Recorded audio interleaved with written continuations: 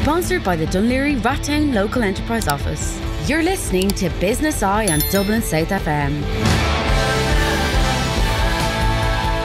And welcome, everybody. Yes, Friday, it is April. The frost seems to be lifting from this wonderful country of ours, and the sun is shining, and it brings out a little bit of smile in everybody's face.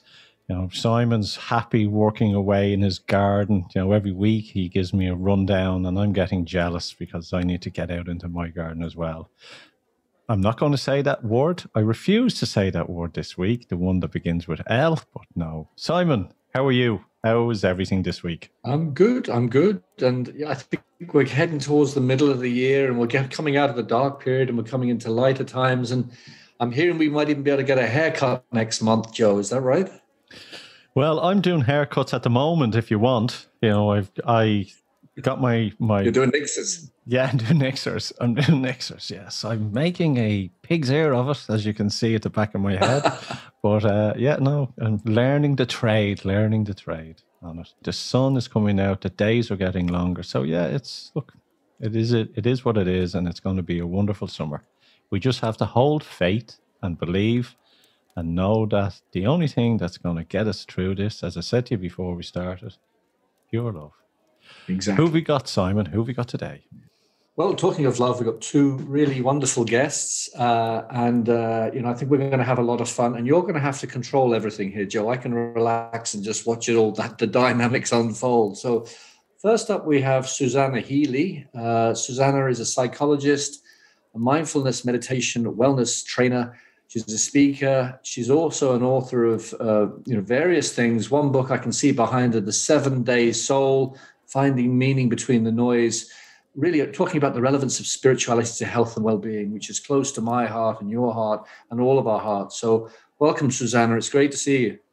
Thank you. Lovely to see you both too. Great to be with you. Good to have you here. And then, secondly, somebody I know very, very well, uh, Síle O'Curahan. And uh, Síle is a former teacher and she has blossomed out into somebody who's doing some amazing work, uh, include, including having your own radio show over in the States, which we won't say any more about, but she's doing wonderful work over there. She's a success strategist, educator, uh, a psychotherapist, a podcast host, host, and the guru's guru. And I'm looking forward to doing some work with Síle as well. She's going to do some work on me. So welcome, Síle. It's just great to be here. Thank you so much for inviting me. It's great to see you. So, Joe, over to you. I'll relax. relax. We put the feet up, get the coffee going. So, yes, you know, as we are all going through this wonderful world as that we live in, and there is a, a lot of talk about, and a lot of people working, and a lot of people, eh, not everyone, everyone's working from home, and there's, there's a lot to do with work-life balance. But in my belief as well, I think that something inner, an inner spark has to happen with everybody as well. You know, there's we are looking outside of this world and looking at all these material things and all these issues that we see online or in the news. And I think people need to really draw back and focus within because within is where the answer holds. So I'm going to open this up to Susanna. And just following on from that, what what's your, your thoughts on on the statement that I've just made? Well, you know, Joe, just what popped out of me out from what you were just saying there about that's what within is from where it must hold. And Iris Murdoch had a great phrase, you know, the center must hold. And it is so true. I think today we have such a focus on the external and you know it's a you know and even our sense of progress is you know if you google images of progress or whatever it's all kind of upward arrows. And there's no lateral progress. There's no breath. We're not developing breath. We're all supposed to be upward. And you know it, it's to do with how we are seen in the world and what we what we what we do in the world. And yet our value and our worth doesn't come from what we do in the world. It certainly comes from contribution. But we exist we have value simply because we exist. We have value simply because we exist. And that is the lesson that is getting missed everywhere, I think. And so that center, that inner uh, depth is what is being missed, I think, in education and in business as well. And yet there's this boom in in um, research around spirituality in management, and it really is kind of the next frontier. Um, we've done much better at kind of getting talking about mental health in the workplace and out and about. And um, I remember when I first started out uh, going to, to businesses and kind of saying, you know, we've got to be looking at mental, people's mental health. And they said, are you kidding me? We're not their mother. And it's none of our business kind of thing. Whereas now, look where we've got to. And we need to develop the same maturity with spiritual and inner health, whatever spirituality must might be to somebody. So Perfect. that's center gold. Mm. Yeah. And Síle?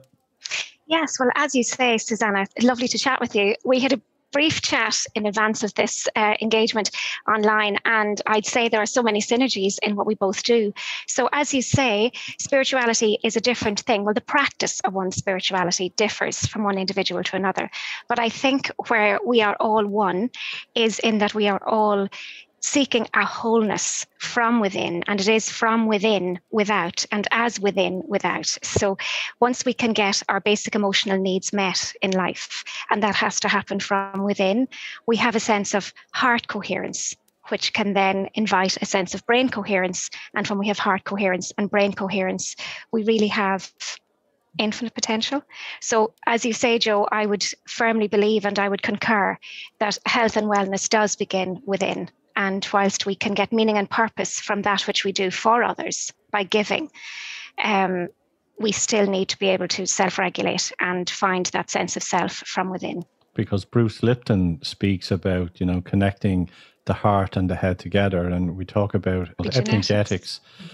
And if we focus on health, the genetics kicks in and it actually increases our immune system by just just focusing on gratitude helps our immune system on it. For So, sure, for yeah. sure. Absolutely. Your IgA, your immune system literally down regulates when you're in survival mode. So when you're throwing off a stress hormone incessantly and you are in a worry cycle and you find it very difficult to come out of that state of being, your immune system literally down regulates because that's not the time to repair Mm. your hardware. It's the time from your ancestral neural pathway to get out of there. And it's your body doing a good thing for you. Your body will break down in various parts and places, um, perhaps into a state of chronic ailment when your immune system is not able to work at its very best. And that can happen because you're in stress. There's the whole area of vulnerability as well. There's a place in India where and you can Google this, where you know old um, sick Indians went to, to pass away. Basically, it's like a hospice, and they were asked what were the things they regretted most in the in life, and what came out top was, "I wish I'd asked for more help in life." And so that really is visceral when you hear that. And so, and then we we all like seeing we like seeing people being vulnerable. We like their honest vulnerability. We like to see it in others, but we can't stand demonstrating it in ourselves. Maybe Susannah first. What is it about? What is it about society that forces us to block that expression of vulnerability? That makes us think we need to block our own sense of vulnerability. What is that?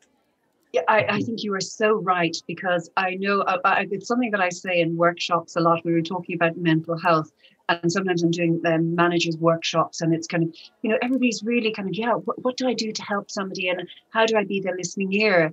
And I say it starts with your vulnerability. And it starts before crisis stage, if at all possible. Um, so it starts by showing if somebody kind of says, uh, see, we kind of tend to hold, we have societal values, and we, you know, it's almost like, are you busy? Yeah, I am, because you, you're supposed to be always busy. That's a, a societal value that we have. Um, and it's almost like, you know, that dictates where you are in the pecking order. It must mean you're very important if you're really busy. Um, and that drips down into what you feel you can say or not say. So, it, but so I always encourage people to say, do you know something? It isn't always about being the listening ear. It's about being honest about your own vulnerability. It's all great for our ego to be the listening ear, but we have to admit our own vulnerabilities and our own difficulties. And if you start with the little things, then people find much easier to you. You you you sound much more human and approachable when other people want to you. Yeah. And Síle, when, when, when is it? When do we start blocking this expression of vulnerability? Is it during childhood? Is it because we pick up on anxiety, so we think we just need to close ranks? Or when does that start happening? I can imagine it probably begins after about the age of seven, because between naught and seven, by all accounts, children are still in a theta space. So their brain, it's never a chocolate, it's never a mud pie, it's always a chocolate cake, for example, you know, between naught and seven. And you need to know that. And they're very adamant about that. So they're in that lovely space of creating their imagination and modeling what they see is how they learn. And then post seven, children learn, have to begin to learn how to learn in a totally different way. So at that stage, they need learning is the firing together of neurons. And in order for them to hardwire, they need to maintain and sustain by repetition. So it's a totally different learning style. And within that, then I think people become conscious of themselves because that's consciousness is awareness. And so you're aware of what you're doing and you're aware that you may not do it well. And I think in those very early years, um, the tendency to self doubt can become prevalent for young children, in which case they like to hide their vulnerability. It's a, again, I think it probably is ancestral. It's a survival instinct, you know, uh, what, what, that which probably grows into imposter syndrome at a later stage if not addressed. And I do think there's a lot to be said for the healthiness and um, I suppose the productivity and effectiveness of the mother child dyad, father child dyad, and parent child triad. Um, I know that parents will always do their very best with the wisdom and knowledge they have at the time, but you, uh, you know we're, we're all parents and, and we're educators and, and we've been parented but to a lot a large extent some of us have to reparent at a later stage when we learn about vulnerability and we have to forgive um, and we have to move on and, and grow from the lessons that we were afforded in our past rather than bring them with us because mm. it, it just continues to pull us down. So mm. learning the the I suppose the power of being okay with our vulnerability, I think Simon is really key then to growth and development at a later stage. Yep. Yeah, I would agree. Like Susannah, what you're saying there about the, you know, we have to learn to say no. And that's one of the things that we need to teach our children is to actually say no um, and accept to ask for help because we have this shield up that if you if you ask for help you are a failure.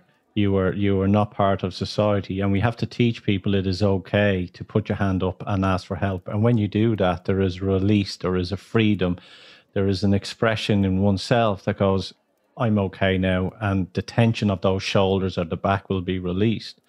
And then when when we're talking about into seven year old up to that age, the child is always still there. The child never disappears within their own subconscious. We just lock it away in a box and bring this, as you said, this new imposter syndrome that comes in. And we have to teach people to be childlike, to be still that free spirited child that they once were, because that in itself is liberating. And when people express that and see that, everything else sort of changes with them.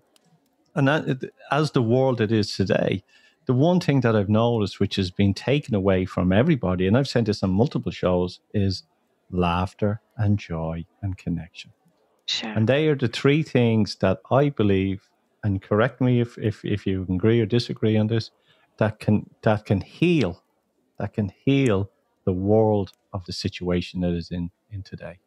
Um, sure. I agree, Joe. People are are very traumatized. There's um, just by life in general, the uncertainty we'll say of the last couple of years, not to mention just the uncertainty of growing up for everybody. But our brains are pattern matching agents. We do better when we notice the schema. So if we have a pattern laid down for something, we do better. Now we may not excel immediately, but at least we we can identify where we're at with something when there is a pattern laid down that we can recognize and identify.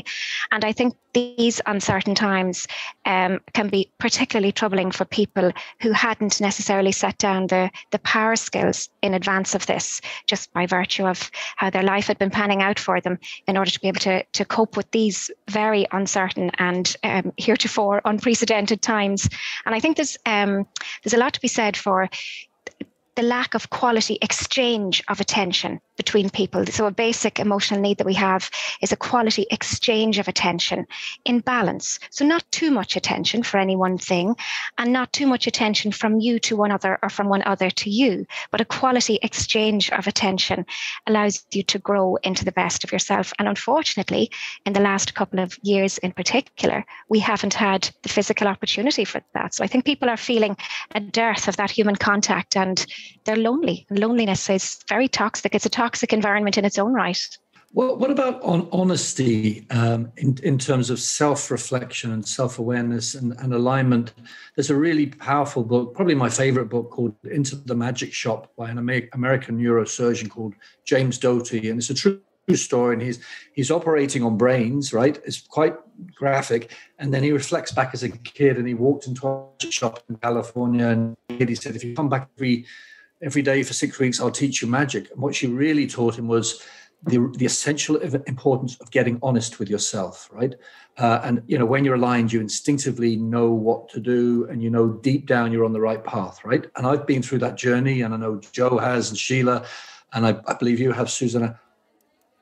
What can we do as four people to assure people that that's the right thing to do, to really dig deep and not be afraid of going through that alignment alignment journey? Susanna, I think it is. Um, tapped into what we were talking about earlier in, in, in terms of that vulnerability and humility we have to set up a paradigm. We, we have to realize we are we, we do not see the world through a, a lovely, clean lens or uh, you know through a window as it were a clean glass we're always looking through a lens our, our, our culture our families have a lens on the world our culture our, our nations and, and so on and so forth so we've got all these lenses and biases that are on the world so we're never seeing things as they are even just teaching our children that in whatever age appropriate language we use, that we have all of these biases, that we have a lens on the world, we're seeing it one way through our experiences, our age, our family, our personality type, etc. That allows you to realize, oh, I've got a lens. I wonder what's outside that lens. Because as soon as there's a lens, now you want to know more. So it comes from teaching people we have a lens, we have a, a view it is not what we see as reality or fact is a view. Stephen Covey had a great phrase in this. He kind of said, you know, um, a lot of people, uh, just to paraphrase really badly, but to go, you know, he said everybody, you know, thinks. Everybody, what is it? They they don't hold the, their viewpoint. Their viewpoint holds them great phrase of teaching ourselves to realize we have a view of the world and when you do that then you can begin to actually then you you you excite people and you of say oh what are the other ways of seeing the world? and, and, and humility and vulnerability are values. Are, are they? So, because at the moment in society, it isn't fashionable to show humility. It's kind of be out there, be all you can be, build yourself up. And it's all about persona building. And again, going back to instead of the inner work. Sure. And we don't tend to, and, and of course, we can't see the world as it is. We can only see the world as we are.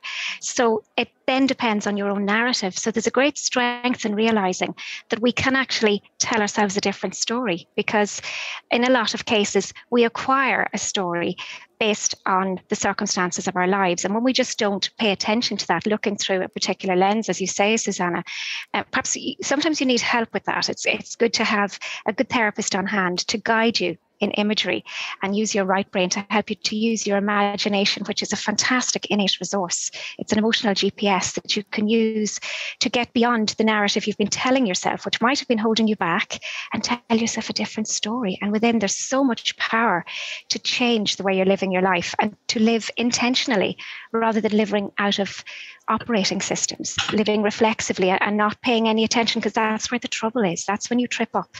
So, um, a lovely analogy, Suzanne. I love that, where you're looking through a lens and then you can change that lens and change your viewpoint. Mm. Truth. It's the courage to find and speak the truth. And the only way that you can do that is trust. And for me, it's understanding that trust in divine or trust in spirituality or whatever it may be to put that foot forward. And that is the biggest fear that people have that if they step forward and speak of what they believe without anger, but and everybody can have it, have their own opinion, but everyone live to get on, even if it's a right or wrong opinion. But it's truth and speaking that. And when you get to that level, I think it's it's an liberation. It really is. You are free. You have that expression on it. And I was speaking to Gregg Braden there a couple of weeks ago when we were talking about this as well. Um, and we've, I was saying to him that I believe that what's happening at the moment in the world that we're having, it's an evolution of the mind at the moment with all that's what's going on. That people now are changing. That I think that the world is shifting for a better place. And there's two things in the in the world now today that's doing this that could never happen I would never be able to do this eh, we would eh, ever in history before one is the internet because it's bringing us all together and i believe also covid is allowing people to wake up and really discover themselves as well. So, with those two elements, I think we're going through a massive shift. And I think it's a spiritual awakening as well. To call it what you want, new age, whatever, a divine. But I think people are starting to really look and see and experience, hopefully, of who they are. Do both of you believe that we are going through a shift of an evolution, or are we just kicking the can oh, around. Absolutely, here. I believe it. I, I, as Simon mentioned, I'm working with uh, Voice America, and on the intro to my podcast, every time I talk about uh, COVID being an opportunity guised as um, a hopeless situation, because I do believe it's a great awakening, and I do believe that we're definitely going to engage in regrowth through the lens of our future rather than getting stuck. I, I think it's a fant- I, I, choose to see it as a fantastic time and a great opportunity. And as T.S. Eliot would say, we shall not cease from exploration. And the end of all that our exploring will be to arrive where we started and know the place for the very first time. That encapsulates the COVID opportunity for me. I, I agree, Síle. I think it is this um, wonderful existential turning point, um, eh, eh, you know, our opportunity. Now, I do not want to belittle the horrors and the suffering that some people are going through. I have been incredibly blessed. And so it has been lovely and nurturing. And, eh, you know, it's just a time of actually just coming back down to the most important things in life. However, for other people, it is quite literally struggling to survive. And I think that needs to be given recognition. Um, I think that is really, really important. I do think, Joe, the uh, internet can be both. it, it is this wonderful way of sharing ideas, um, but it can also it can obviously be used in a, in a kind of a bullying way and our way of saying this is the fashionable way of thinking. And as soon I always kind of say to my children, as soon as you're thinking exactly the same as everybody in the room, take a moment, just question yourself, step back, are you just being biased because of because you want to belong to the group that it feels comfortable to do that? It feels much safer to do that. Just come back and be careful of mobs and groups and whatever. And remember to think clearly for yourself. You're so much more powerful remembering your own individuality in that way. And you can contribute more to the greater good if you just remember to, to everybody using their own thought to, to make sure we contribute lots of different ways of thinking. I think when the printing press came along as well, people were having the same conversations. Words have power. Words really have power. Simon, we'll uh, we'll take a quick break, and when we come back, I would like to ask our wonderful guests, how do we incorporate all this teaching into our daily life? Sponsored by the Dún Laoghaire Rathdown Local Enterprise Office. You're listening to Business Eye on Dublin South FM. And welcome back again. Business Eye, sponsored by Laoghaire Rathdown Local Enterprise Office. And we're talking about love and ethics and gen, you know, and vulnerability and honest. And we'll get on to businesses in a second. But Joe, you you you you wanted to talk about how you think we can all apply some of what we've discussed, really to I, I guess to push our own growth journey. Myself, this has been a long journey, and every year I have more haha moments and as time goes on, personally myself, I and Simon, you know me a long time now. I don't get stressed. I don't get worried. I don't suffer from any of that. And that was because I had to realize that every every action has a consequence. And understanding more from how I live my daily life, I believe it's a ripple effect, and other people will see that as well. So there's a the reason why I asked that question. There's a lot of people out there who you know are suffering, or worried, or fearful, and believe that there is a spiritual awakening going on in the world as well. That this might sound a bit cliche, but for me, I'm trying to discover how Christ, Yeshua, would live his life, and how I can see if I can live my uh, my life of 40% the way of he could. I've never said that before on radio, but that's where my evolution is going as a human being. And I wanted to see how how everyone here is also their own spirituality, their own belief systems, how they're incorporating that into their own daily lives as well, without righteous, I, righteous. It, you know something, it's really a hard one, and I know that uh, just um, I in my book I, I talk about well how can we actually get there because I think we all, I think we do have to become very conscious. That's the first step is to become conscious, to become aware of what we're doing on kind of usually on autopilot and very habitually.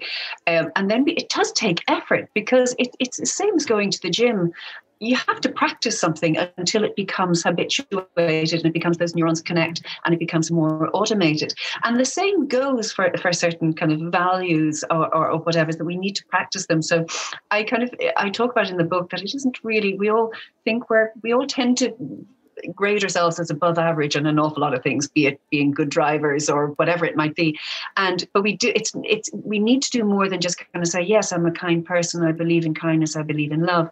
We actually have to practice it quite consciously because uh, the growth doesn't happen when I'm loving about a total stranger and I wish them well very generally. The growth happens when somebody who's irritating me or I don't, you know, whatever it might be, I'm really struggling with them to actually say, ask another question. I don't feel like elongating the conversation. Ask another question. Say something that's kind. Say something that's flattering pause, don't say, bite my tongue when I want to say something nasty. That's where growth happens. So I talk in the book about seven pillars of practicing and just kind of suggest as one way of doing it is practicing, you know, awe, humor, forgiveness, generosity, gratitude, patience, and stillness, and taking one of those each day as a pillar and looking for opportunities to practice them. That's just one way of doing it. But we do have to do it consciously because the growth happens when it hurts, you know it's like going to the gym. It hurts. Absolutely agreed, Susannah. It's like a, it's like a bicep curl for your brain. When you need to change gear neurologically, you you know reps are there. But every now and then, you do need to up the weights if you want to see a change in the shape of your arms when you're training in the gym. Similarly, when you're hoping to change your behavioral practice, it's a really good idea, as you say, to become metacognitive. So to be the observer of your thinking rather the, then getting stuck in your thinking because you can't change the problem from whence the problem hails.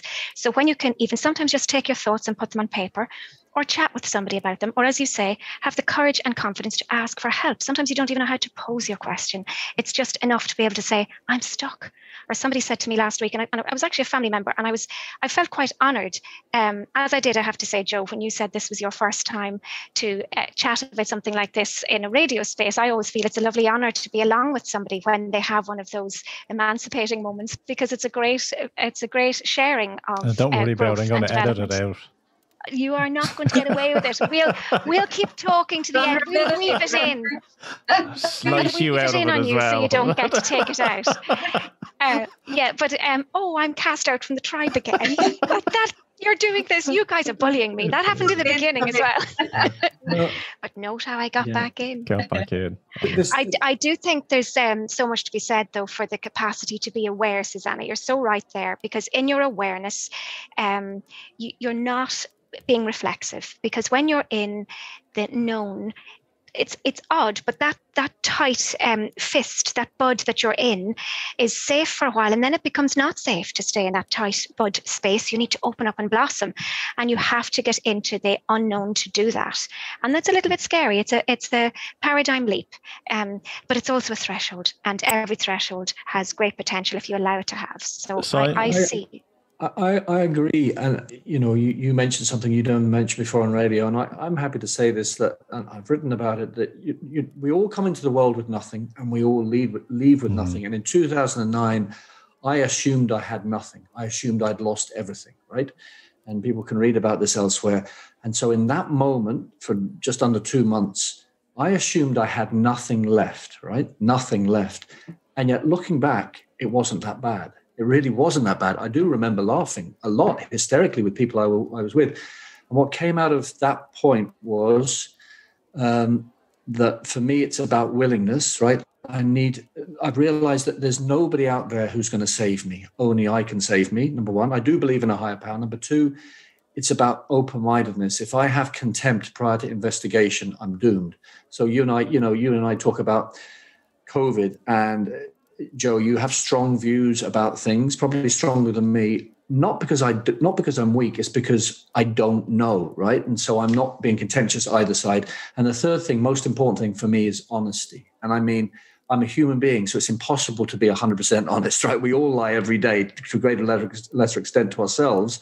but I try my hardest. And so for me, it's moving from that comfort zone through a fear zone that I was at in to a learning zone and now a growth zone. And I, for me, it, I have to break it down that way. So, yeah, do you know what I, I put it down to for my next TEDx talk?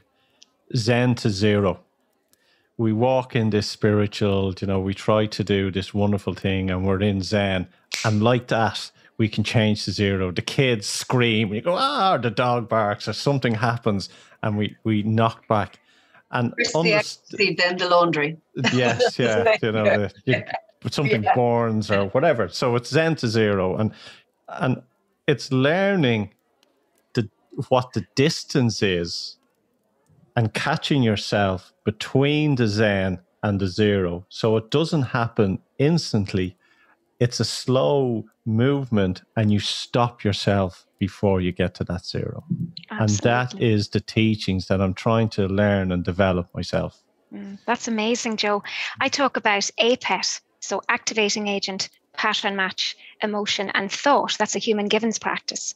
So you can, if you were to jot down the letters A, P, E, T and pop a hand over one, you can see ape, and then pop a hand on the other side, you can see pet. So you can turn your brain from an ape to a pet in a nanosecond when you learn the practice of noticing the activating agent. So, this is what you're talking about. What's the one thing that brings you from Zen to zero?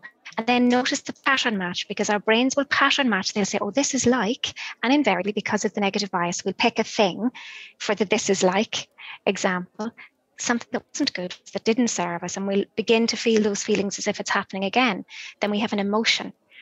But that's where the power is because if you can name the animal, catch that emotion, name it, what happens is you can go from the emotion that you're feeling to a more managed thought, and then the action serves you because you're in your place of power. You're you know you're getting the control and the autonomy over those emotions before they get you so using your mind because otherwise your mind will use you Right. What what what about businesses? Now we haven't got into businesses, and, I was talking to Joe before. I've interviewed a guy from California called Moshe Engelberg, and he's written an amazing book called The Amare Wave, A M A R E, which is Latin for love. And he's studied businesses, and he believes there is a place for of for love in businesses, right? And we don't often talk about love and business together. What do you both? Maybe I'll start with you, Síle I mean, businesses talk about ethics and values, and a lot of it is rubbish. I'm just going to say that, right? And some businesses really try. But at a deeper level, is there a place for love and the, the characteristics of love within business? There absolutely is, Simon. And you're the first person that I ever heard actually talking about that. And I was intrigued and inspired. Um, and excuse the, the gender bias I'm now going to express because it was a male that was saying it as well. And we, you and I chatted then offline after said conversation, said interview about that because I felt that it was so interesting that you could tally the two, you that does so much work in business and you have such a success rate, and you are the growth strategist, and you can help businesses to close their deals, make their millions, but they can do it by respecting the people. And it is the people that decide um, the culture. And so, therefore, people are feeling better in themselves and they're getting their meaning and purpose because there's love in the room. I absolutely feel that business will thrive and excel because there's a sense of love and a sense of respect for people and uh, quality inclusion, not just integration in business. I, I think it's the only way. Mm. Susannah. And I think, um, you know, absolutely. And I, I, I, love Latin, so I love you going back to the, the, the Latin words. But, you know, I, I, talk about also agape and that unconditional love, the Greek word. And, you know, love. Love can be seen like a very fluffy term, and you know, the, the, when people talk about soft skills, and it drives me mad. I mean, this is rock foundations of it's as important as gravity and air is absolutely fundamental. So I hate the fluffy image that people sometimes have of these of these things. It's so fundamental to our existence. Um, but but love isn't just a, a, vague concept. You can kind of when when you apply it into the workplace, you, you know, you bring it down into its kind of more singular threads, as it were, into discernment, forgiveness, um, acceptance. Now they're not easy. Again, they are practices. And we, you know, we do, we, we can't just throw out the phrase practice. It literally means we have to practice it. Again, going back to what I was saying earlier. So there's many, many um, disciplines or threads within love. And conditional love is, is hard. It is to do when things are challenging. Um, and it is to do it, you know. So it is those conversations when you kind of say, well, things like servant leadership and that kind of thing, and and leading alongside, as opposed to again changing the view of how we view leadership to be allowing other people to grow. Now, in order to do that, the organizational system needs to adapt because if you, you have to, the organization and the hierarchy needs to reward people who bring other people up. And at the moment, most organizations don't do that. It is about, you know, get yourself you know ahead of the game whereas the more you can actually say I, I, you know we're actually rewarding people who let other people fly then you really change the, the, the hierarchy of the system you're spot on because when we when Seven Simon came back on started doing the show in January, we've been speaking to a lot of people over the last couple of months. And the one thing that I'm noticing, which everyone is speaking out about, is leadership. And there seems to be, and even when you're on LinkedIn and social, you're speaking to people, there seems to be a concern about real leadership in the world at the moment. You're talking about organizations. How do organizations lead? And I think you know, if we went into an organization and you start talking about spirituality and start talking about all this, they they switch off. It's power. The conversation is how do I gain my power back? How do I be the person that I want to be? So, do we start, you know, and I do it subtly all the time when I'm speaking to organizations or I'm coaching people. It's subtly just getting people to take back their own power coming out of this, when we come out of lockdown, and, and just when Simon said to me, you know, my views on COVID, it's not my views really on COVID, it's my views on lockdown. But it's the leaders, the people that need to lead, need to stand up without fear and speak their voice for their community, which is their organization. What do you think, as a leader in an, an organization, should be saying to their staff in this moment of time?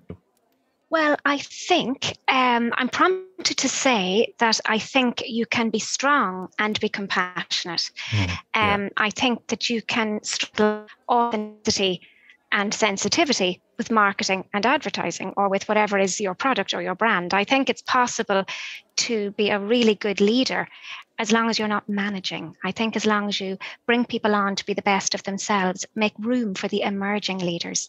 Don't set up a ring of fire. You know, make sure that there's always room for that somebody who has heretofore been quiet and, and hasn't presented to perhaps find that that is the day that they're going to make their contribution. And maybe all they needed was to be heard and to be seen. And they can change the quality of the product and perhaps make more money for the company. So I think leadership obviously there isn't any one thing that I could suggest any leader could be saying, but I, I could suggest though that I think it's extremely important that there's um, that there's room for all and that there is a voice given to all because I think no one person can bring any company on to fruition. It is always a team effort, and yeah. together everyone achieves more. Yeah, and, and I think it gives great meaning to everybody because I always believe that we are responsible for the people who's, who cross our paths in life, no matter who that might be in the shop, wherever we, we are, we're responsible for how our, our interaction with them. Um, and that gives fantastic meaning, I think. Um, I think responsibility, there's so much talk about rights, and we've needed that, but we do need to counterbalance it with responsibility. And responsibility really enriches us. It's great to feel I have a responsibility because that gives every one of us a role. Um, and, and even when I'm talking in companies, and I do think, Joe, people are getting a little bit better and braver about talking about spirituality. I'd often, when I'm going into companies, I'll say, listen, if you don't want me to mention that word, okay, or I'll say existential health or something like that. And then when they get to know me, they're much more kind of, okay, that's not scary. Yeah. It's not too out there or anything like that. And they be much more comfortable. Um, but I, I think when you actually empower everybody to realize that we are all, you know, when we're talking about suicide prevention and that kind of thing, and people saying, you know, it, they won't necessarily, somebody who's struggling may not go to a manager. We're all responsible for looking out for each other, for giving each other value and worth, um, and and um, how we how we treat each other. Um, and it's just that gives us all power and strength, and it means everybody's everybody's a manager in some way. I'm wondering if it's an occupational hazard for a leader if they're not in, you know, professional development training all the time about their position and the importance of their role to perhaps forget and just think that they're doing their very best. I wonder, should we bring that um, sort of lost leader with us sometimes when we have complaints from the back row and just say, look, you know, can we have a chat? I think sometimes it's very important to remember that everybody, including the leader, could be um, in a place of unconscious incompetence, you know, and hoping yeah, to get yeah, to conscious, leader, unconscious competence.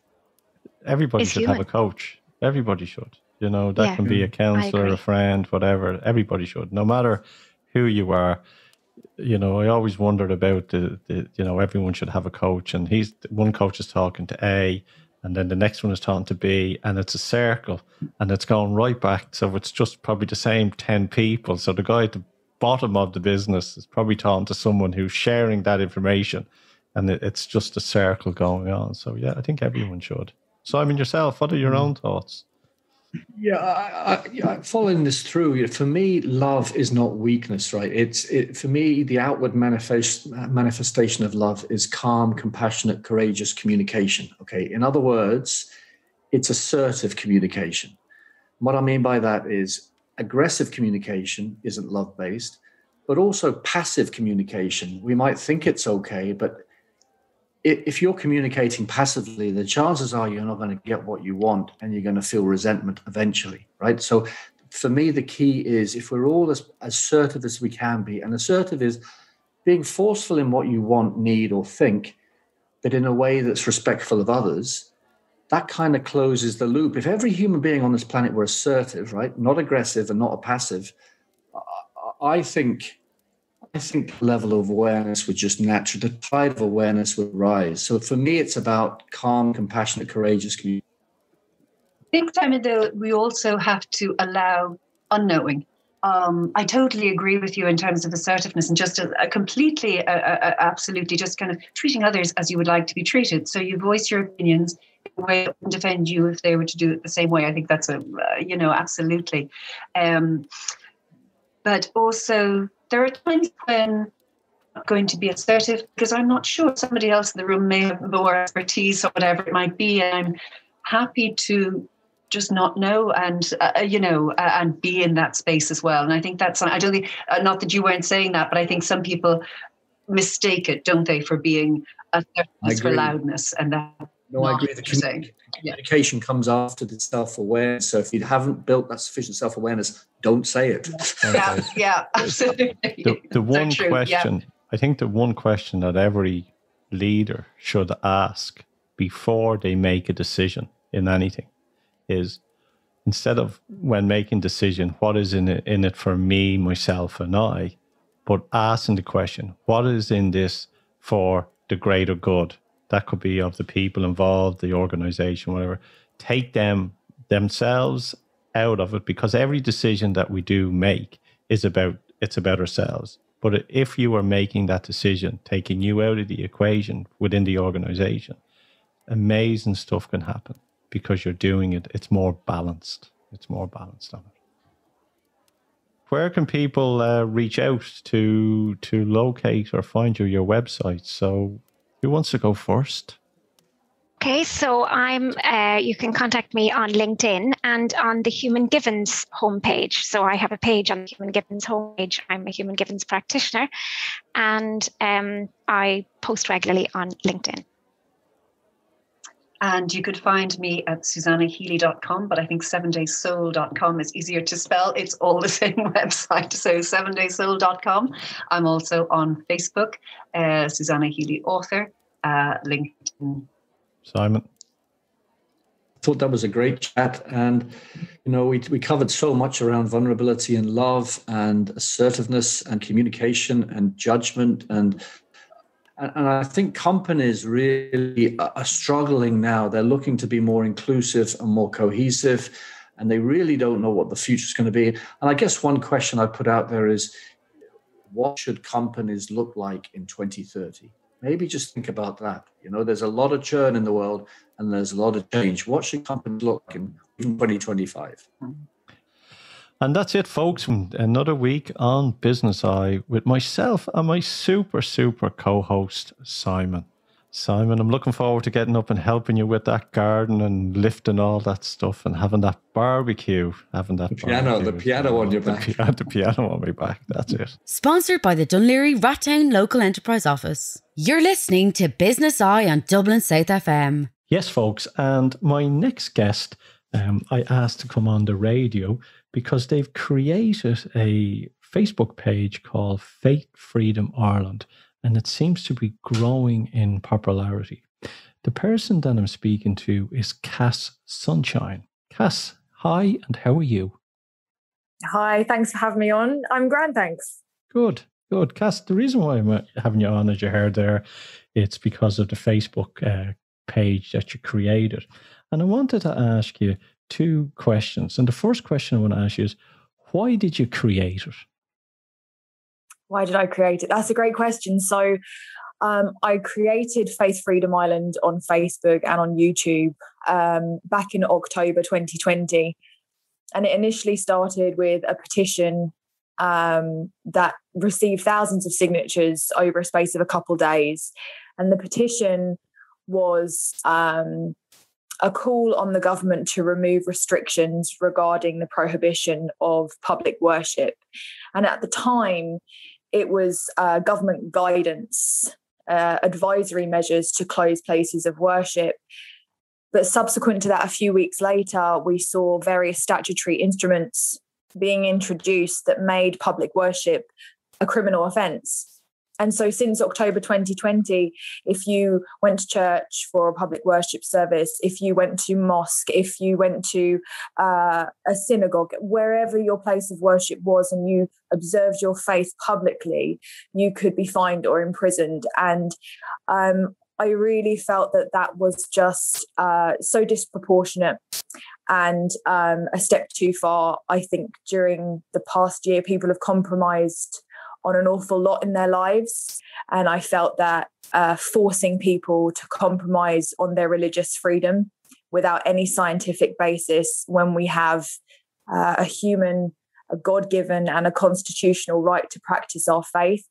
Um, I, I, wasn't going to sit down and, and take that one lightly. So that's why I created the Facebook page so people who shared my sentiments, we could all connect and we could come together from all different walks of life, not just Christians. Uh, because even though I'm a Bible believing Christian myself, I believe that every human being has the right to practice their faith openly and without fear of persecution. That's true. And uh, the next question then I have what is the mood of the people that you're speaking to? How how are people taking this? And oh, since October, what's been happening? Yeah, so um, quite a bit has been happening from different denominations of Christianity. There's been various letters and meetings uh, between the Taoiseach and the archbishops. Um, we've also seen uh, the Church of Ireland be involved. We've seen non denominational Christian churches uh, from Christian Voice Ireland um, their most recent letter was signed by, I believe, 220 pastors requesting scientific basis on which the government asserts churches must be closed. And uh, the government refused to provide them with any scientific data. So it just goes to show you that the government really did not place any value whatsoever on people's spiritual well being. Um, and people at this stage have had enough. And if I'm being perfectly honest, I I think that people have come to a stage now where whether the government puts uh, further restrictions and more severe penalties in place or not, people are just going to start going to their church or their place of worship. I think they've reached a stage now where this cannot continue and they are seeing their, their mental health really suffering, their spiritual well-being really suffering. And I think that's an area of people's lives that has been really neglected the past year. And people need that part of community back that's a part of our human being that really needs to be nurtured and um, it's it's dying and it's unnecessary. So people are coming together at this stage. Uh, there have been lots of different churches who have been meeting in secret. I myself have been going to church throughout this whole um, prohibition. I'm aware that's a criminal offence. I'm aware that I could be fined. I'm aware that I could go to jail. Um, and quite frankly, I don't care. Um, I really think at this stage I have to put my God before men, and I'm really unapologetic about that. I think what I found that coming up to what was Easter was the straw that broke the camel's back. Um, and a lot of people that I've been speaking to, they were saying, you know, what's going on here? You know, we can all go to Aldi or we go to Dunnes or Tesco's but we can't go to a place which is quite large uh, and you know a church which then could have people socially distance in it which churches are big air space places but were refused and less people would go to a church than they would go to a coffee shop let's be honest about mm-hmm. it but and it was it it was more people are saying it was more like this was a rule and people that that were enforcing these rules on us have no spiritual faith and are more interested in state than church. Would you agree with that or disagree with that? Um, I can't speak on behalf of anyone else, but in my personal opinion, I definitely think that Ireland is no longer a country of saints and scholars. Um, I, don't think people hold religion um, in the regard that it should be held in any longer. And I think that's a real shame because um, for the for the most part, religion gives people hope. It builds communities. It has been um, something that has brought people through some really, really dark times, particularly over the past year. And I think we've seen gradually, um, particularly over the past four, five, six years, um, a lot of people would feel that our nation as a whole is not reflecting a culture that is cohesive to honoring God. Well, one of the things as well, I always say, there's no such thing as an atheist on a sinking ship. And a lot of people, what's happening now, going over the last year, are waking up and finding a spirituality. Um, you know, it doesn't matter what what faith that you have, or once they are finding this spiritual connection with with God, source, divine, whatever you may want to call it. But what I noticed as well that when these were like we were locked down through Easter, there was people who were you know in their seventies who have followed all the guidelines, wore masks, locked in, kind of said, "No, I'm I'm done with this. This is rubbish." Open the churches? Do we just have to go and stand by our priests and say enough is enough? Um, yeah, I think now we've reached a stage that in order to be um, spiritually obedient, we may have to resort to civil disobedience. Um, I'm a person that believes in peaceful action, but action nonetheless.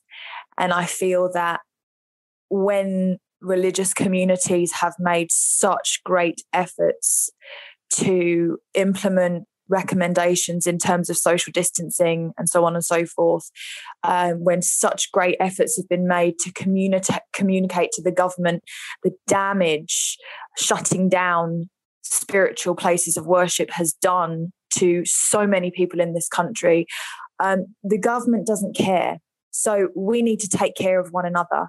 And I think one of the main ways that we do that is that we open our places of worship and we honor our God and we honor one another by practicing our faith in a peaceful but nevertheless proactive way. And if that means we go to prison for it, well, that's the price that I'm willing to pay. But I can only speak for myself on that one. well, you know, the more this continues, people are saying to me, this is more like communism than anything. You know, this whole, as we know, the Archbishop spoke about it, about the New World Order. But I think in the in the long run, I think people will, are more awakening up and this will change because our faith is more and more precious than anything that we have. That and our family, the family unit on it. Cass, again, if someone wants to join this Facebook page or you know um, get connected, where just give us the name of it again. So you can find us on YouTube and on Facebook, and the page is called Faith Freedom Ireland. Everyone, look, have a super weekend. Have an awesome weekend. Be safe and look after yourself. And we'll talk to you again. Take care. God bless.